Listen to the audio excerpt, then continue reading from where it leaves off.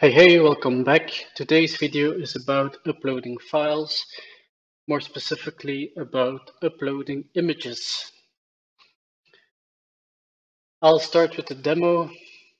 Um, this is just a file picker, the standard HTML file picker.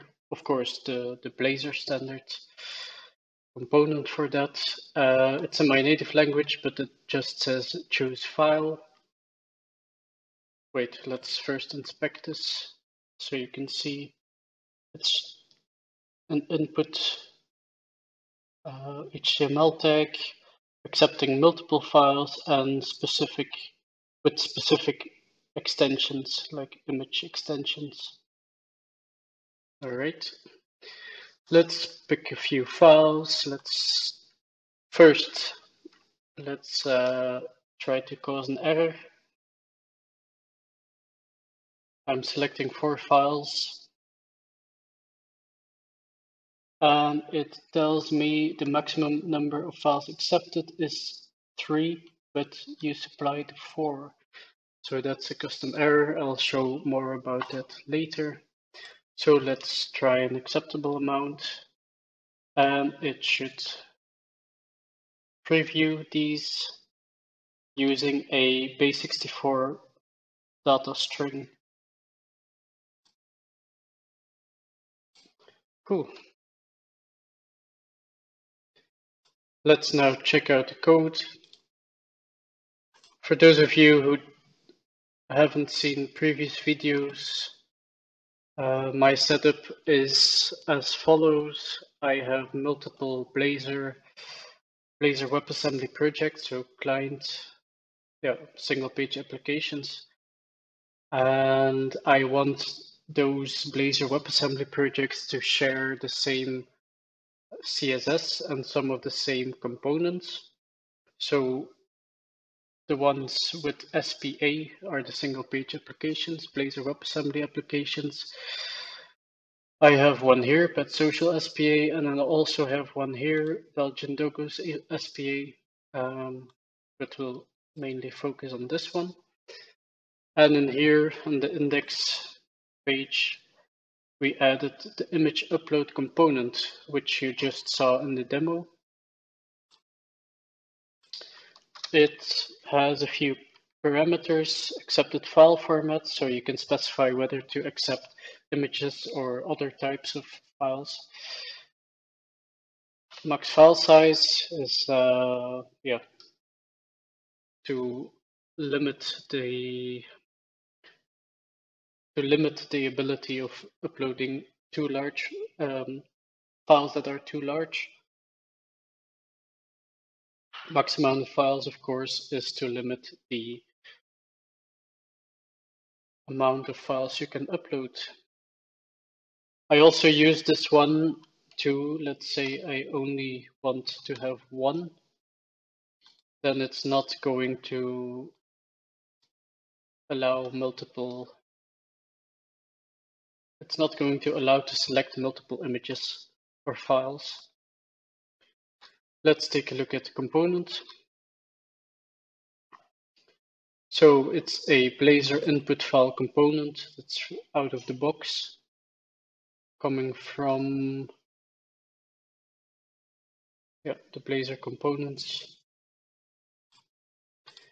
It has a onChange event callback, which will trigger my own methods when uh, files are selected. This multiple decides whether you can choose one or more files. Um, and I said if max amount of files is more than one, then I'll allow to select more files.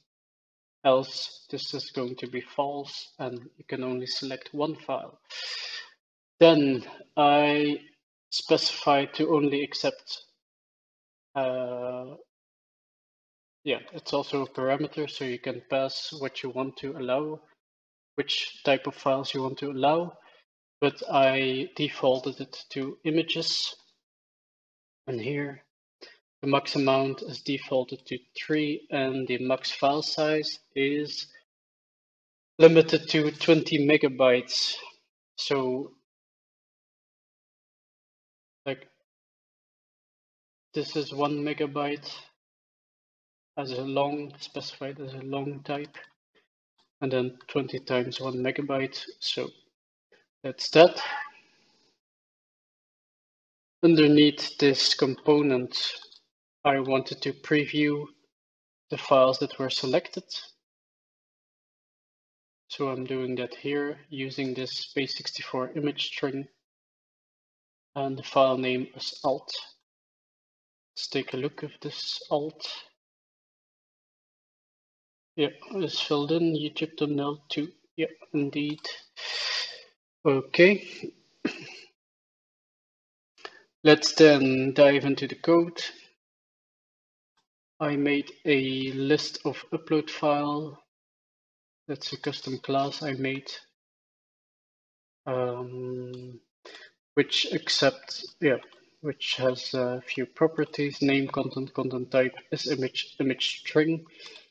Content is a byte array. I will see that later. The name is just a file name and the content type is the type of the file, the MIME type of the file. This is our custom method that uh, oops, gets the event args argument from this callback. And we put all of this code in the try catch because there's a multiple possibilities of throwing an invalid operation exception. So we can get the selected files by using event args.get multiple files and this max amount of files. Uh, let me see. If we dive into the code, uh, it will throw an invalid operation exception if you select more files. So, so that's the error we saw in the demo, the first error, error that told us we try to supply more files than is allowed. Okay, if you just have one file, you could say var, I'm just going to call it f for now, and args.file directly. Let's say if you don't use this multiple thingy. In our scenario, in our case, if it's just one file, yeah, it's just going to be a, a read-only list of one file. So no problem there. Then we loop over the files Here we are checking whether the content type of the MIME type of the file is in the accepted uh, types. If so, we'll just return it as the file format and else we will take the first of these accepted ones. Actually, with we might want to throw an error or something. The thing here is this is a method that attempts to convert the incoming file into an image, convert it to an image if possible. Uh, when it's larger, it's probably going to try and convert it to these dimensions but the method says it's going to respect the aspect ratio so you don't get a distorted image. Let's hope that's true. First, of course, we're going to open the read stream and this method is going to enforce the max allowed size. You see here the default is 512. So it's 500 kilobytes. Uh, I based my calculations of 20 megabytes on this. So I did uh, 512,000 times 2 and then times 20. Okay. Uh, if, of course, the the input file is larger, it's going to throw another invalid operation exception. It should. Uh, okay, and if uh, all goes well, it's going to copy that to the memory stream created. This memory stream is used to get a byte array, the buffer, uh, and this buffer is used to create these image strings, these base64 image strings, but also um, to create multi-part form, form data, to create form data. Uh, so we fill up our list of file uploads with a new object containing the file name, the content type, the buffer is so is this uh, the actual contents of the file, the file itself, as a uh, byte array. I said this image is true because in this case we want an image and then this image string is uh, nullable. So well, if this would be, if it wouldn't be an image, uh, it's no point of trying to uh, preview it, I would say. Uh, and then this image string is solely used to preview the images. And that is just going to construct a base64 data string. So data double point content type, um, data content type, then specify base64 and convert the byte array to a base64 string. Okay, so then we have a nice object we can loop over and display the images. Upload files is still a work in progress. Um, first, we construct the form data. Uh, it's recommended to send form data to the API uh, rather than just a base64 string.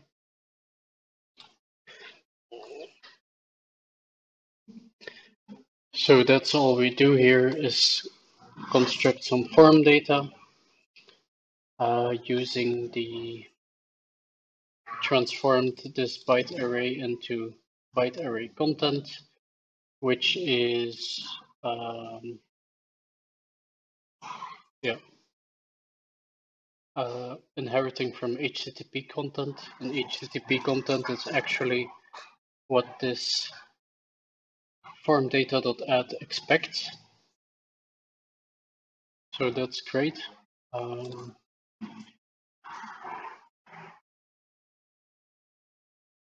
took me a while to figure this out um, because most examples will show like stream content or um, yeah, I don't know, other things. And then I was messing around with multiple memory streams and or trying to reuse the same memory stream and getting some weird errors about the stream being already consumed and all that stuff. Uh, so it's actually a pretty nice thing that we can just use the byte array to add to the form data, which would be yeah, a solution I expected to work. Like I actually expected to just add the byte array in here to the add. But anyway, uh, one thing I forgot to mention maybe is this copy async is necessary to actually get this buffer, uh, to get a valid uh, buffer, a valid byte array from memory. Uh, without this, you're just going to get some default or empty base64 strings. So the Microsoft docs also recommend to either upload the file to a temporary uh, to a directory in the backend or to directly to the Azure Blob Storage from the client. But there's a few problems with those. Um, the first one, to upload it to a directory in your backend that might not work if you're deploying on Azure, your app, if you're deploying your app on Azure, since it's not going to persist these uh, newly created files uh, when the bots recycle or when the app restarts in Azure. Uh, so that's not great.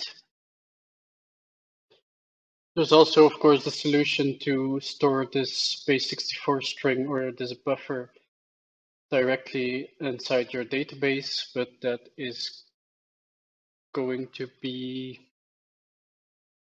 that's going to impact your performance a lot and you might have to scale up your database a lot. I don't think the Azure uh, Microsoft minds because then you'll you'll be paying more for database storage. So the other solution is to directly upload it from the client to the Azure Blob Storage, which is a, very reasonable solution, I think. The only thing is using a secret API key or connection string, and I don't want to put that in the front-end app. That's not very secure. So I am going to first post these files to my backend, and then in the backend, I'll be uploading them to Azure.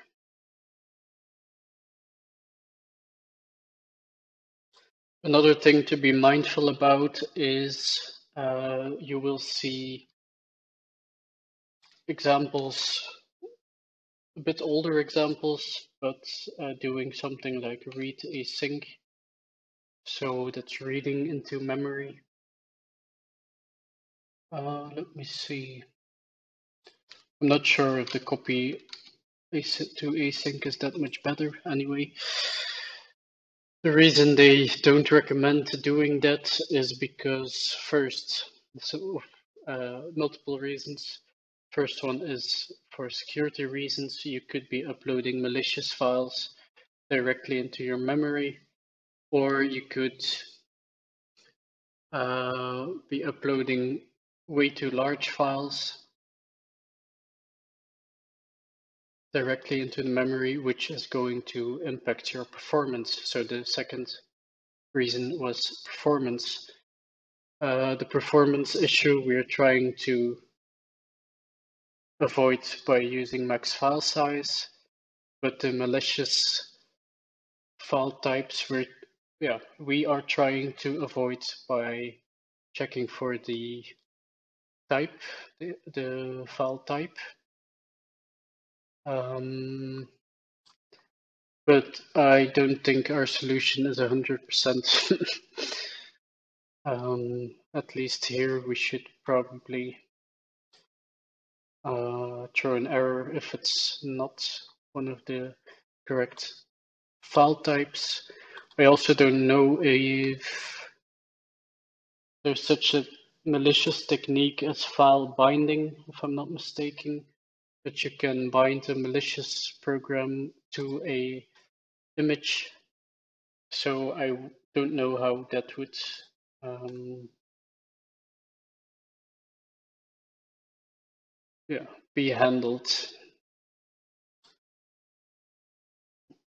I'm not sure if the that file type is still going to be PNG or something else or some executable. Okay, that was a bit too much of that.